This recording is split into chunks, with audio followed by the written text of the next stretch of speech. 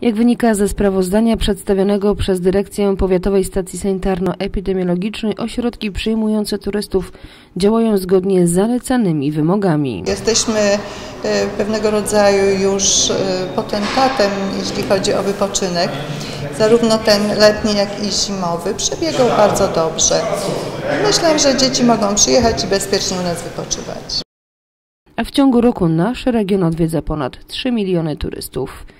Innym aspektem poruszonym przez sanitariat jest spadek wyszczepialności dzieci w powiecie. To wynika z pewnej takiej, ja to nazywam modą na to, żeby się nie szczepić. Nie? I jest e, to sytuacja, która wymaga podjęcia e, bardzo dużego działania informacyjnego, żeby przekonać tych rodziców, że wyszczepialność jest czymś, co jest naturalne i, powinno być realizowane dla bezpieczeństwa, dla bezpieczeństwa szczególnie młodych, młodego pokolenia. Opanowanie chorób zakaźnych sprawiło, że czuliśmy się bezpiecznie i y, pojawiają się takie tendencje, że szczepienia są niepotrzebne.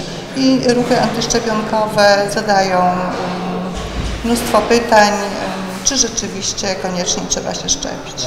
No oczywiście stanowisko y, specjalistów jest takie, że szczepienia są niezbędne. Dowodem na to może być choćby odra, która wskutek właśnie zaniechania szczepień w krajach e, ościennych e, zaczęła się pojawiać zarówno na wschodzie, jak i na zachodzie mm, Polski. Z zebranych danych wynika, że na terenie naszego powiatu niezaszczepionych jest około 300 dzieci. Oczywiście w różnych kategoriach wiekowych i w różnych jednostkach chorobowych.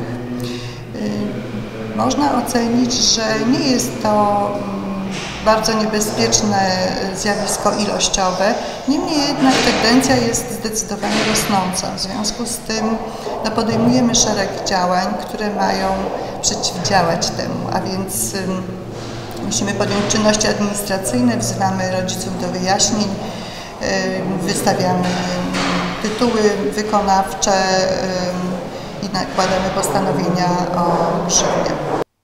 Największym zagrożeniem obecnie jest ekspansja odry w Polsce. Ostatnie cztery miesiące wykazują tak gwałtowny wzrost zachorowań w kraju, że obawiam się, że na naszym terenie również pojawi się zachorowanie pierwsze Y, od wirus odry jest bardzo wirulentny, bardzo szybko rozprzestrzenia się wśród ludzi i zaraża, jeden chory zaraża wokół siebie kilkadziesiąt osób bardzo szybko.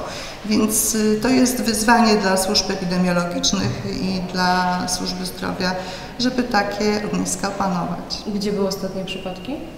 W naszym, na naszym terenie nie było takich A przypadków. W Polsce?